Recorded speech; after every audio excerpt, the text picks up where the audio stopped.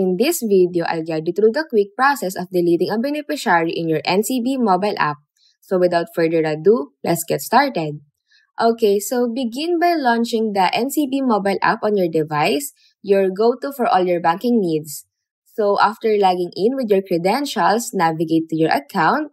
Next, find your way to the section that manages funds transfers or beneficiaries.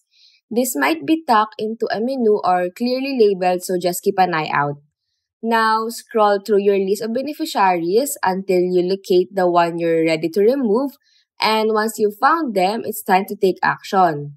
Now, look for that key button often labeled Delete or Remove right next to your chosen beneficiary, give it a tap, and you're set.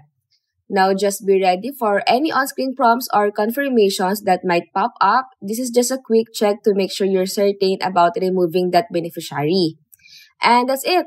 You've successfully removed the beneficiary from your list. Now, if you need more guidance or have any questions, feel free to explore the app's help section or reach out to NCB customer support.